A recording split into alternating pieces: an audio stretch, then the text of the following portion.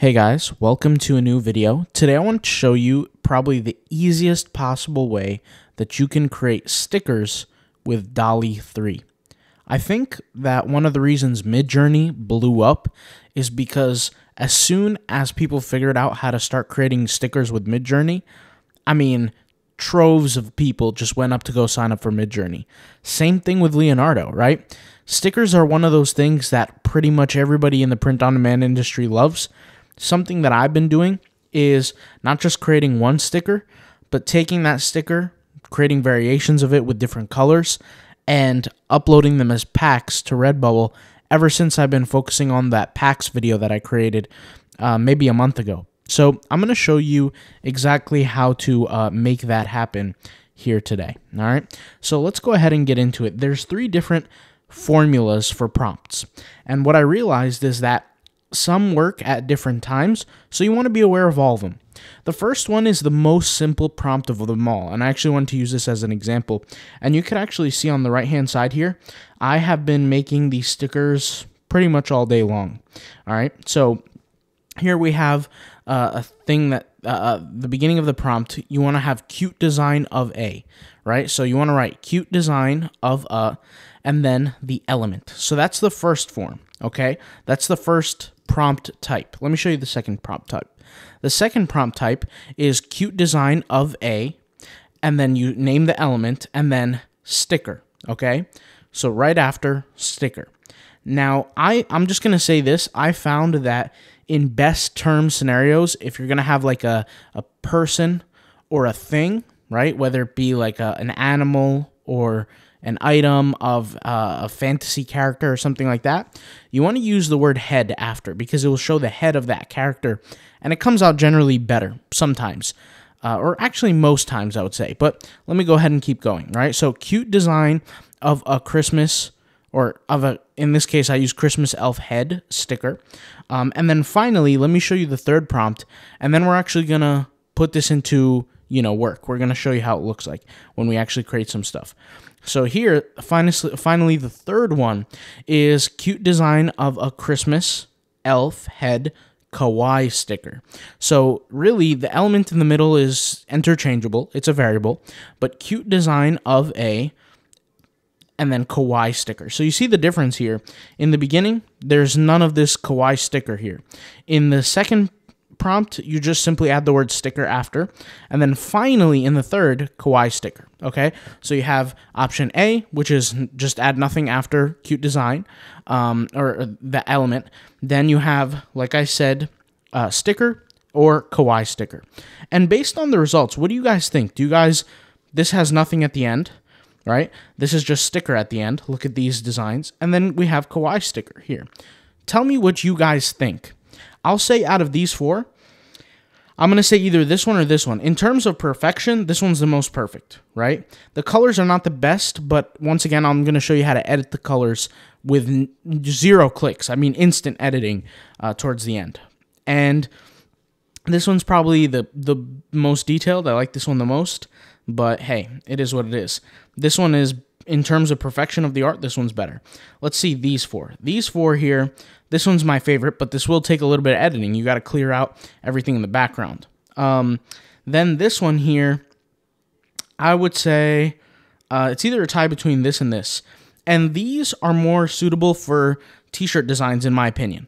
Uh, they don't have that white outline around them because you're not indicating that it's a sticker and you could just simply remove the background and make it happen. So let's go ahead and edit all three of these and, and create some elements.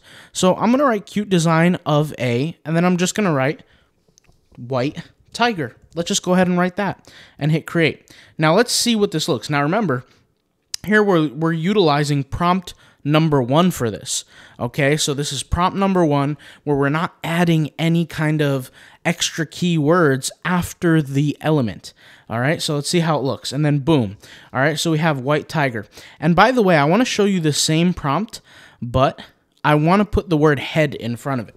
And the reason why I want to do that is because I wanted to show you guys the difference from what I said earlier. When you add that little word head, sometimes the the design comes out a little bit better. But honestly, it comes down to your guys' opinion. Do you guys see this now? I didn't add any word kawaii or sticker or anything like that. But you see what it's looking like now? And this is specifically talking for creation of stickers, right? You see the difference between this and this? These are more for like t-shirt designs. When I add the word head, now it's kind of like sticker-esque, all right? So now let's go ahead and go to prompt two, which is this style, where we add the word sticker at the end, right? So we're gonna go to our our design here, right? And I'm going to remove the word head just so we can test it. And I'm going to write the word sticker. And then on the next prompt, I'll add the word head. So we're still using prompt number two here as a brand new try. We never tried this before here with the white tiger. So remember, we did not indicate head here. So you can see here, look at this. So cute design of a white tiger sticker, and then boom. Really good white tigers. I mean, I'm not going to lie. They look very, very cute, very uh, you know, to me, this looks like almost like kawaii style, but I didn't even label kawaii. I just said sticker. Now I'm going to add the word head. Okay, now let's see the difference. Now, mind you, this is still using prompt number two, so it's it's uh it's a little bit different because we added the word head, but we're still using prompt number two where we indicated it's a sticker. So now you can kind of see the difference there. I'll just say this I would never use. Um, this I might use. This I might use, but this one is probably the best one. It's just my favorite. Okay. Um, now let's go ahead and test finally the third prompt style, which is adding the word kawaii sticker. And we're also going to test it using the word um, uh, tiger and then white tiger, white tiger head, and then just white tiger, All right. So let's go ahead and do that. So let's go here, okay? And instead of the word sticker, we're going to add at the back kawaii sticker, but instead of head, we're just going to remove the word head here and hit create. Now, once again, I believe that the AI has been trained so much and has seen so much art. When you use the word head, think of the data that it's pulling from. You're pulling from all the images on the internet it's a bunch of like kawaii style stuff. Now here we remove the word head and still there's an emphasis on the head. Why do you think that is? It's because we wrote kawaii sticker. Now I'm going to go ahead and write the word head here and then hit create. And I bet you they're going to be, you know, kind of remotely similar.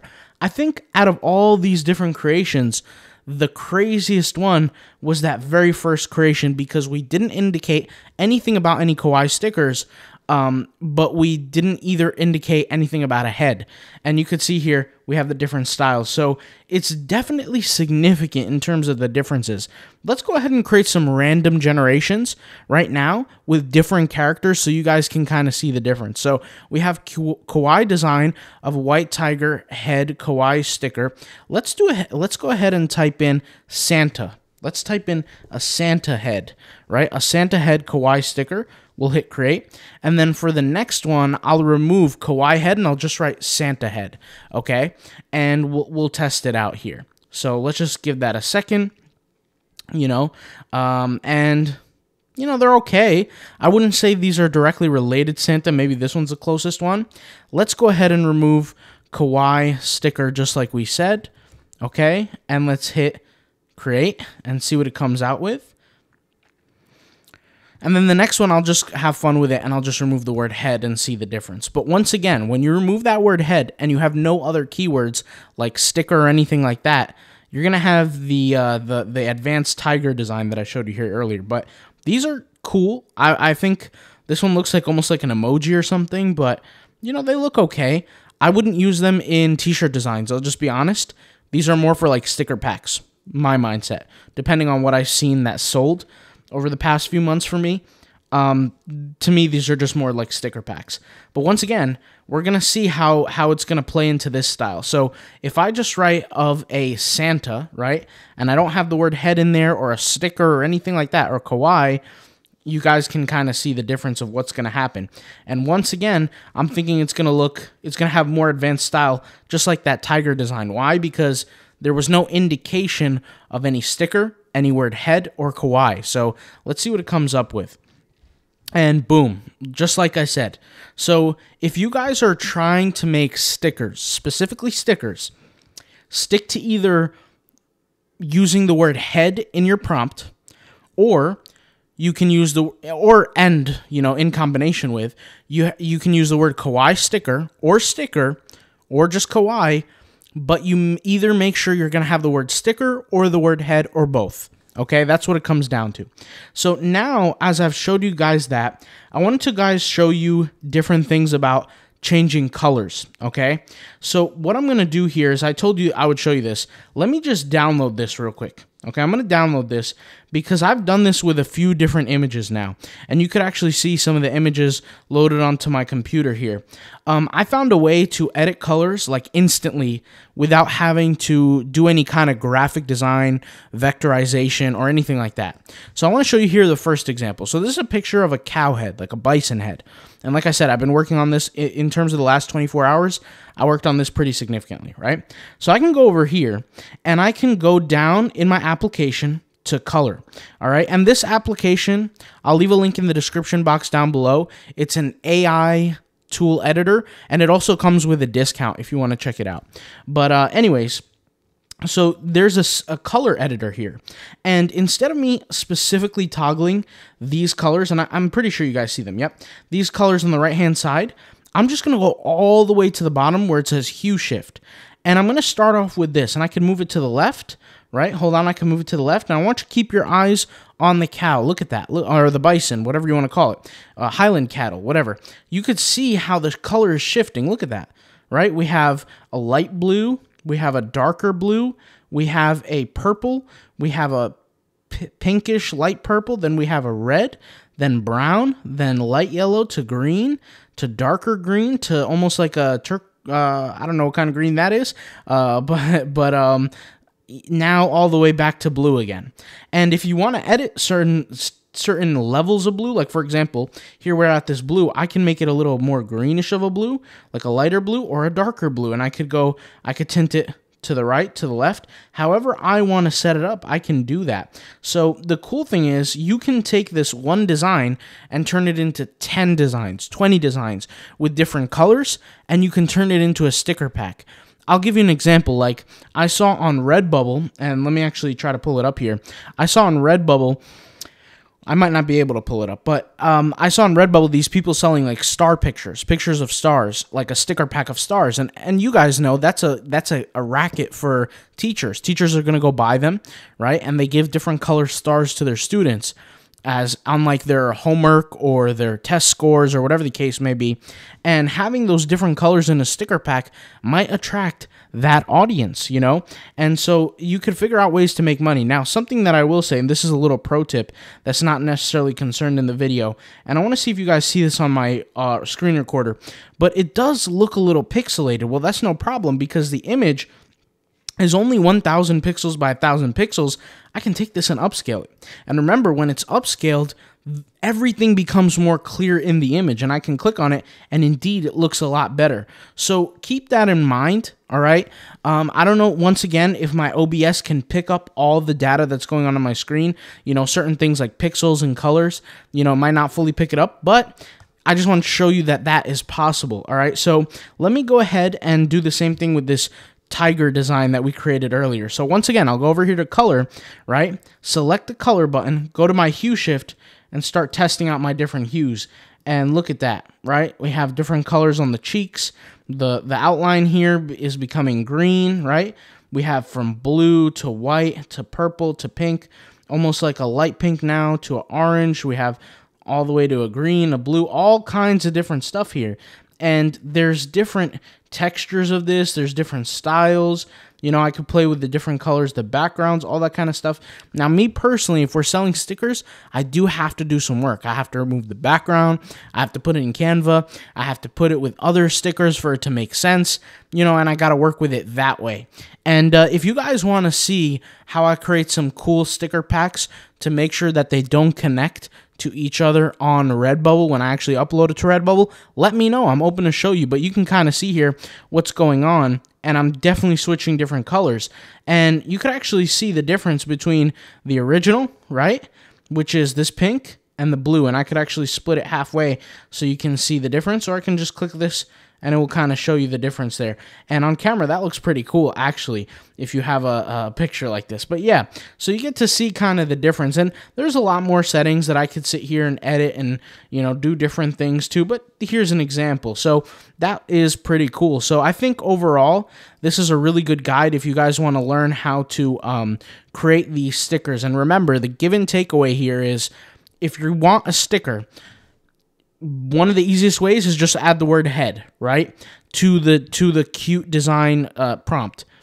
If you want a little bit more indication that it is a sticker, literally you can write sticker and then accompany that with the style of art. So in my case, I use the word kawaii. All right. So you could do that so many times. And like I said, I was doing this, you know, all day long, testing different things, finding what works, finding what doesn't. So uh, you guys let me know how much you enjoyed this video.